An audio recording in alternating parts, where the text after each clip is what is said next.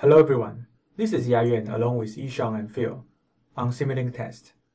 Today we will show you how you can use test for Model Component Wizard to generate test and test harness.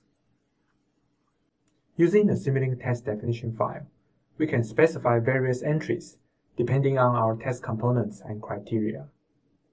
The test for Model Component Wizard provides a simplified step-by-step -step interface to set up Simulink test definitions based on the use case. Yishang will demonstrate how to use the wizard for one such case. Hello everyone and thank you Yayuan.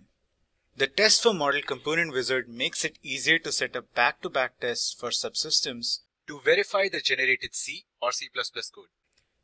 We shall demonstrate this workflow with this example model of a closed loop block diagram where the selected atomic subsystem implements a gain logic. We are required to verify that the subsystem exhibits similar behavior in normal mode and software in the loop or SIL mode. If we have C or C++ code generated, the first step in the wizard will be to specify the component under test. Using the wizard, we can either specify a top model and optionally create a test harness or blocks such as subsystems, Stateflow charts, or model reference blocks. For our case, we shall be testing the selected subsystem.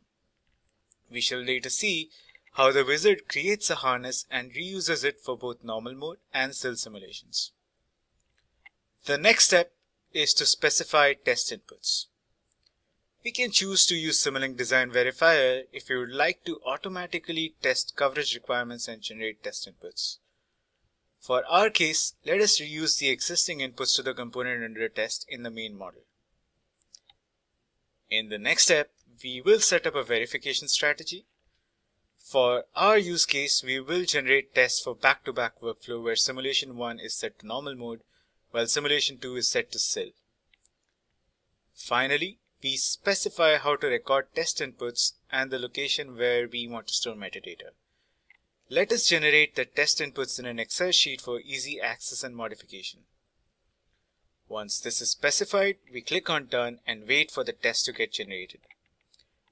This will automatically run the model, create the required test harness, and populate the test sections for an equivalence test. In the generated test file, we see that the required test sections have been populated for an equivalence test. For simulation 1, a test harness for the subsystem is being used for normal mode simulation. The test inputs have been recorded in an Excel sheet.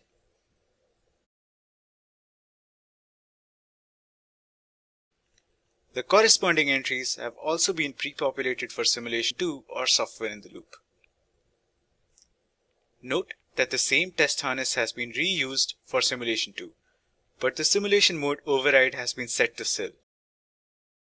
The test definition can be manually enhanced further based on testing requirements to include a combination of requirements linking with Simulink requirements, coverage analysis with Simulink coverage, and scripted iterations, temporal and logical assessments, and custom criteria. We will enable coverage analysis for our test file to collect aggregated coverage for normal mode simulation, as well as the generated C or C++ code. I will now start the test and hand it back to Yayuan for interpretation of the test results. Thank you, Yishang. Once the simulation is done, we can click on the test results and verify if the difference between simulation using compiled generated source code or software in a loop and the simulation using Simulink falls under your acceptable tolerance. Coverage for model and code can be viewed in the test results. Since code is generated for the subsystem as a function, a function coverage is also displayed as a metric for software in a loop mode. The test for Model Component Wizard allows for easy setup for test definitions of tests, such as baseline and equivalence test. It allows the creation of test harnesses to isolate test components. The wizard will allow integration with other Simulink verification and validation tools for more information about tests for Model Component Wizard, please check out our documentation.